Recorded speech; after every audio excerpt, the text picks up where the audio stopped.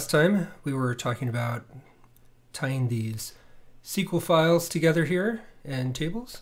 So now we are fetching these levels from SQL with GraphQL and we want to go to the next stage here and fetch the embedded objects uh, out of SQL as well. So let's go and see how we do that. Uh, there's a few different ways. Last time we were talking about using an association table where I have a separate table that has the ID of one object and the ID of the other, and we can just sort of query it. And those work okay. It's fine when, but it's more what you would use when you have a many-to-many -many association with objects. In our case, every particular object is only tied to a single level. So we really just need, for any one of these objects, we really just need to know the ID of the level that it's associated with. So we can make this a lot simpler by just going and adding those. So let's go see what that looks like here. If we go and take these association tables and get rid of them, then we can instead add the uh, actual ID field that we need to the sub-objects. So for example, a level ID field. And because we're using integers for our IDs, we would just do that uh, in the field. Now when we're trying to find all of the objects associated with the level, we can just do a normal query, filter to find only those objects whose level ID matches that of the level that we're interested in. And this will be a much simpler way of doing it.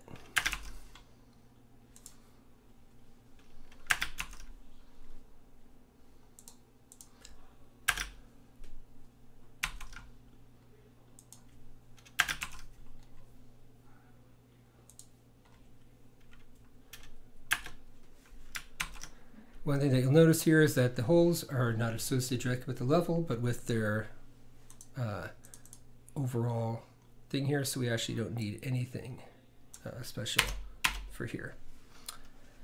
Also, as you can see here, for the single object, we're using this as a uh, object uh, and for the exit. And so for here, what we had done before is we've actually had the ID for that object in the level definition itself. We can keep that uh, if we want, or we could use the ID uh, of the level in the exit. Either way, doesn't really matter. So one thing that you'll notice is we reuse some of these objects, uh, these tables here are types, uh, that are actually different types of object, even though we're saving them as the same type of thing. Um, but because we've defined a different table in the database for each of them, uh, that shouldn't cause us any problems. So with that in mind, we can go ahead and create some of these uh, objects in our database. But first, let's go and run this again. So go back to our terminal here and we'll start node.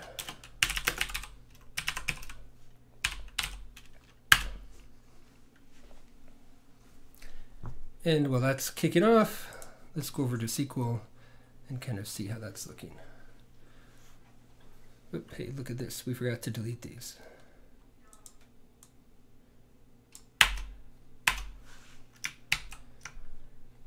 Let's try that again.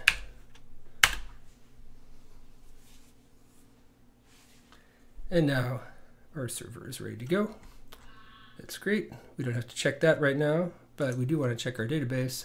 And let's refresh the schema here and make sure that looks good. So now each of these tables, uh, when we look at its columns, should have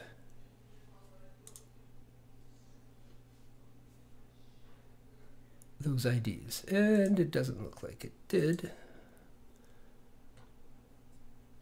Foreign keys.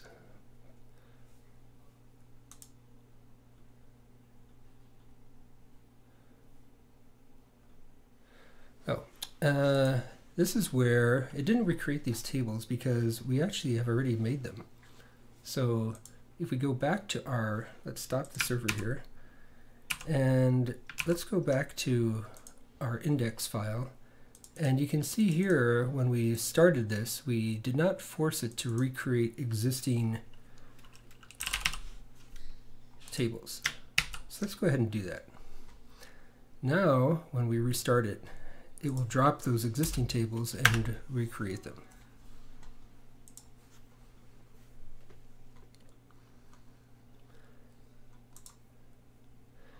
And hopefully that should be a little bit better. Let's refresh this. And now we can see that the level ID is in fact uh, in there.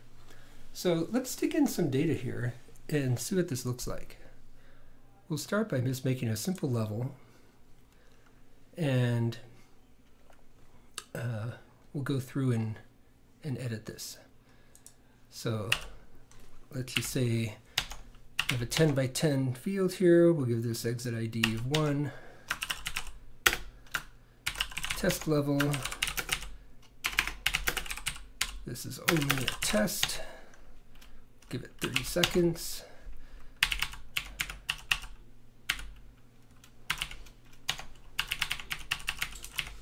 And that should be enough. Let's see if that works.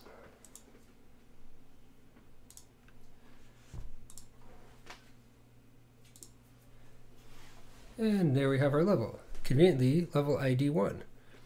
So now let's add some objects to it.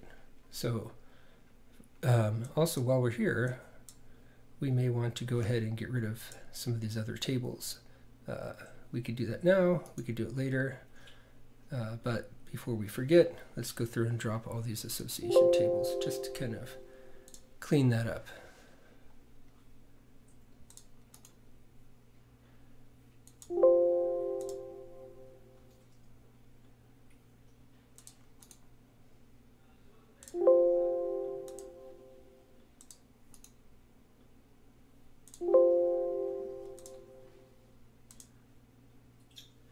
Is one of those things that you want to be a little bit careful on since you can't really undo this. And if you actually had data in there, this could be disastrous.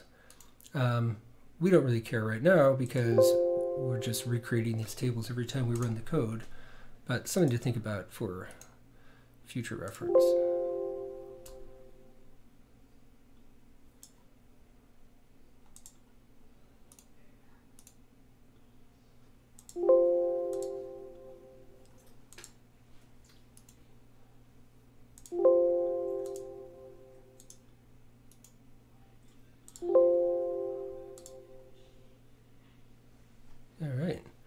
So we got that a little bit cleaned up. And now let's go through and start adding some objects. So the first thing we want to do is, remember our level here, we have uh, just our one level, uh, level ID one. So now let's go through and let's create some other objects that are going to go in this level. For instance, let's create a couple of sheep.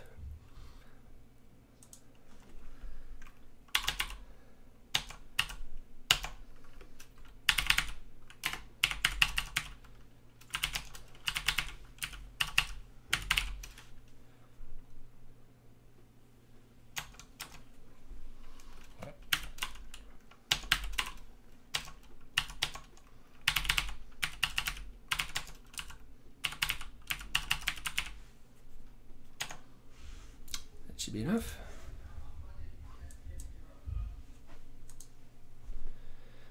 Okay, now we have a few sheep here. And if we wanted to find the sheep that are tied to a particular level, we can do that by a SQL statement. In this case, we want to select everything from here where the level ID equals the level we care about. So it'll just return only those ones that are associated with our level. So let's see how we do that from code. All right, well, let's take a look at our thing here. We already had this thing for get levels.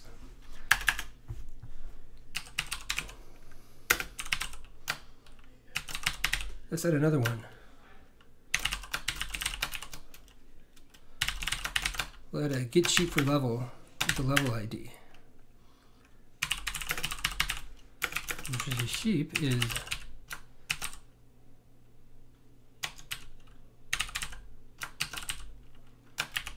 could say find all, but what we want to do is not find all. We want to have that uh, where clause in there.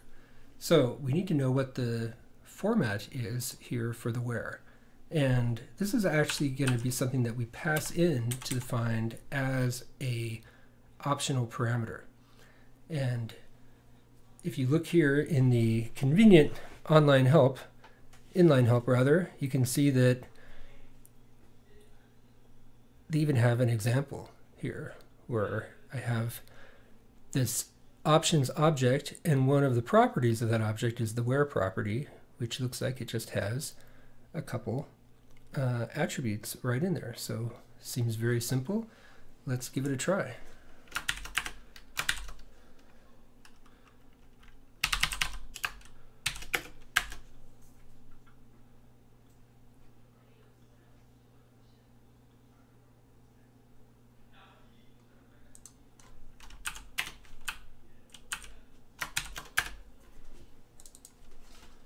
and we'll use our thing, level ID.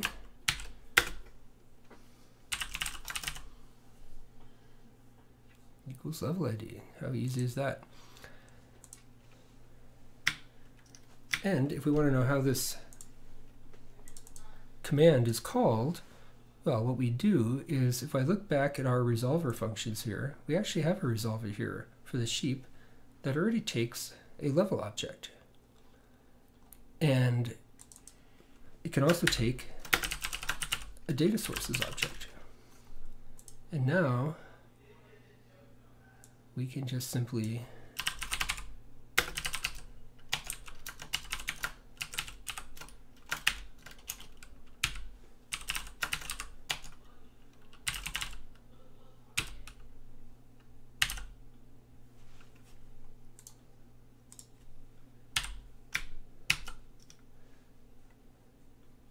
And what I'm going to do is I'm going to pause this here just so we can run it in the debugger and kind of check out what this is doing.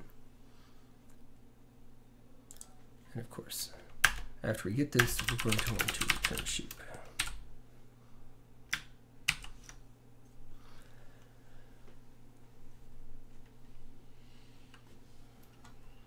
All right, so let's go ahead and debug this.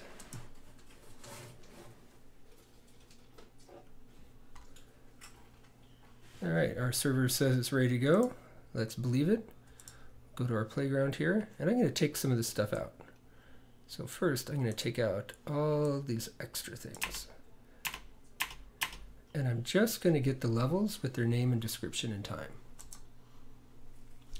And you'll see we don't have any levels. No, that's probably not what we wanted.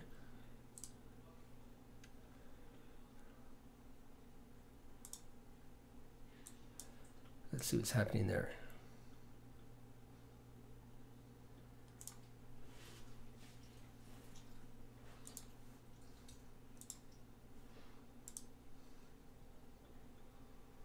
So we're calling the right thing. It's looking for the levels and finding all. But let's see, why is it not finding it? Let's go ahead and step over that one. And we have here a promise, so we'll have to kind of await for that one.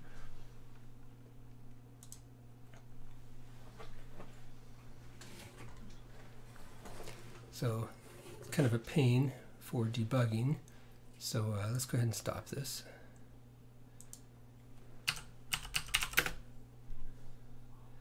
And I'm going to drop a, a wait here for this async call. And we'll start it again.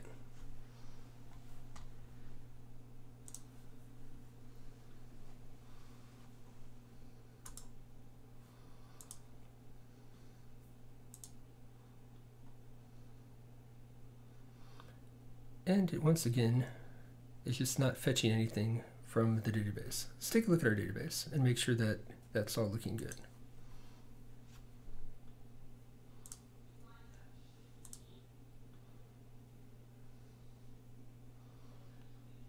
Well, it really seems like we have all the data we need here.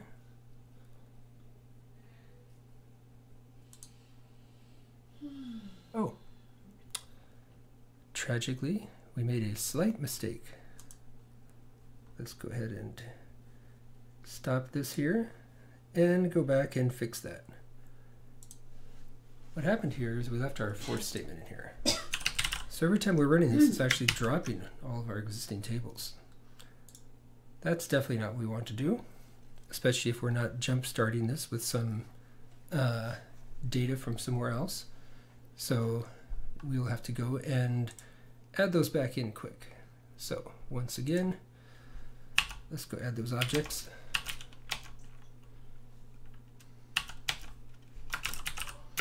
Test level, this is a test.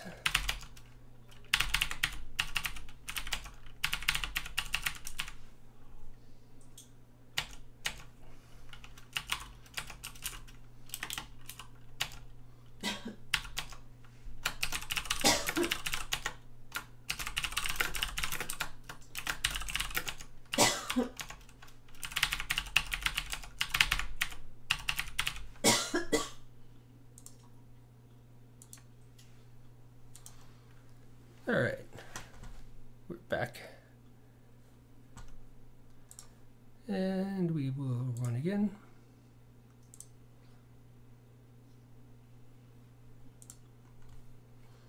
And now, let's go and make sure that's working. So now we have our data in there, it's pulling up, and you'll notice if we try to get the sheep,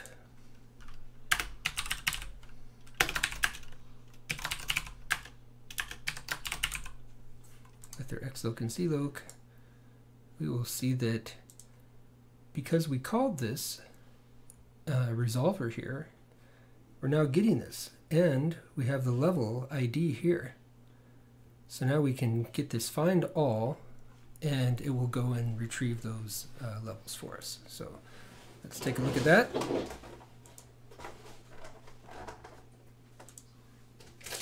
And you can see that right now there are none. That's okay. That's expected. We saw that uh, it's going to be the same problem that we had last one. And I want to point out something here that's very interesting. So when we try to query this with the sheep, uh, you'll see that it's calling this function. So because I have sheep in this query, it will call the sheep resolver here You see the code stopping.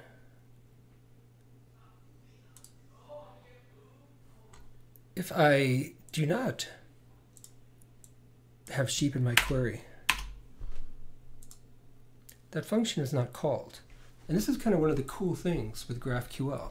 It's very efficient. Not only do you only get the data down from the server that you want, but the server only has to query for the data that you ask for. Uh, in a typical database, we often will request it, it will fetch everything from the database and then oftentimes even send it all back down over the line and then you have to throw away a bunch of data you don't need. Because GraphQL is much more surgical you can uh, you can be more exact. So very cool. All right now let's uh, take out this breakpoint here so we don't need it. And let's go back to SQL and add in a couple sheep.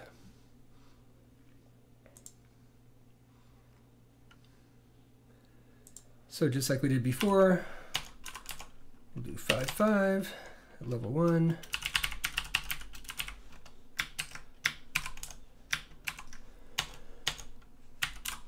Let's do negative 5, negative 5 at level 1.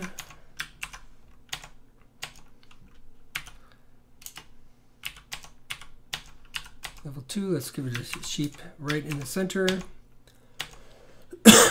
as well as one off to the side.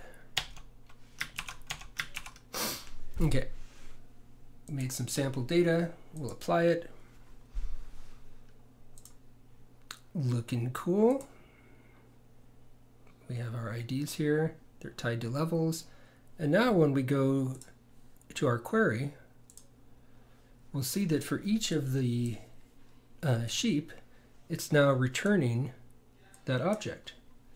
Uh, that's exactly what we want to have happen. And that's pretty much all that there is to it.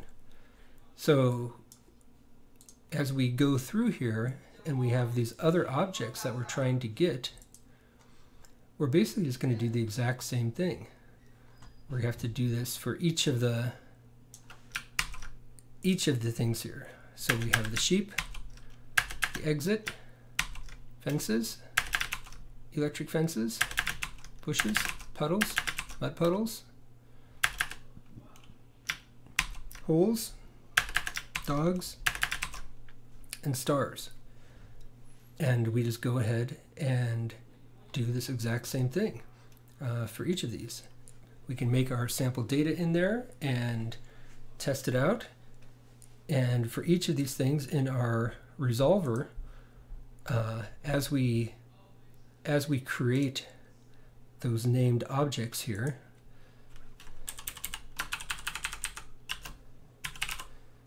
I could say get exit for level. Uh, get fences, get the e-fences, bushes, puddles,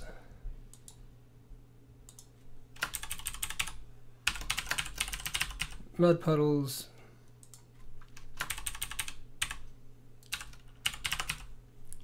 holes,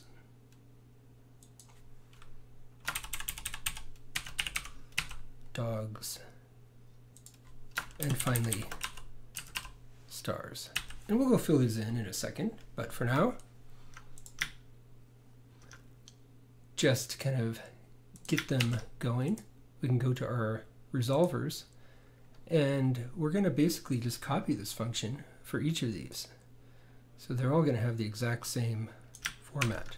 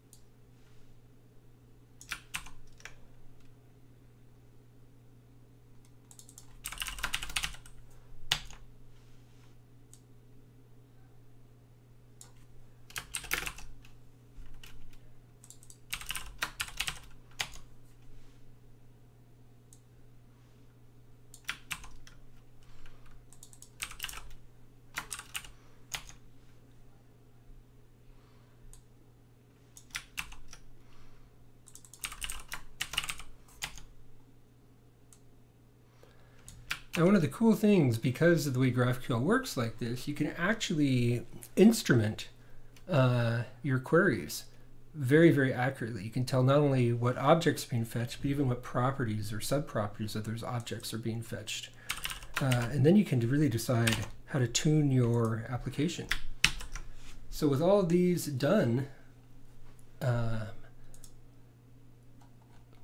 we now actually have amazingly quickly written the entire resolver that we need for the game, at least in its current state. And if we go and try to fetch these things, well, we might have some issues because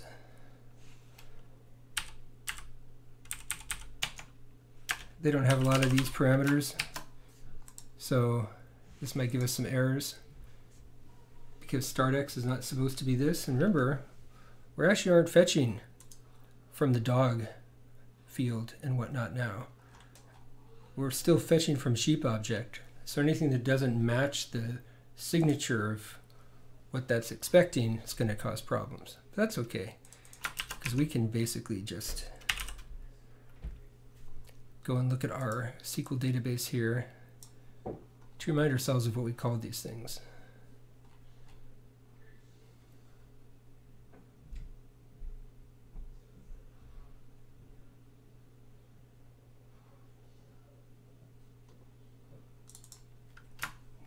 This is a terrible name.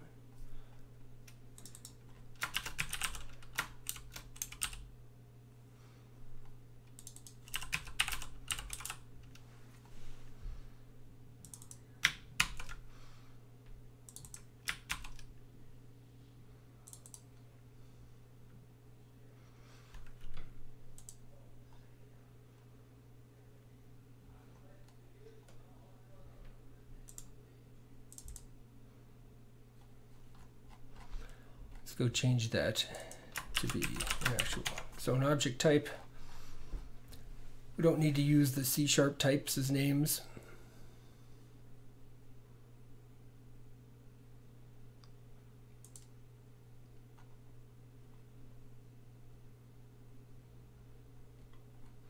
And uh, looks like we never made an electric fences object.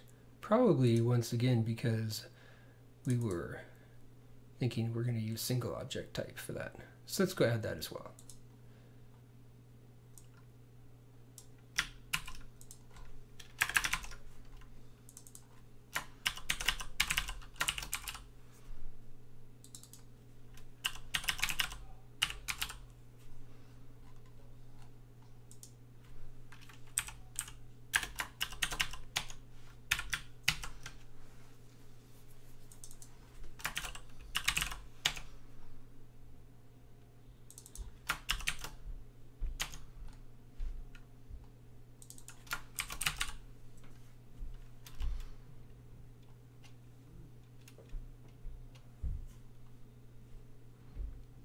Looks like we did the same thing with Bush. Let's uh, add in that one too.